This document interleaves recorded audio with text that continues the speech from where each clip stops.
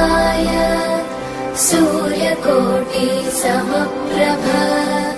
निर्विघ्नं कुरु मे देव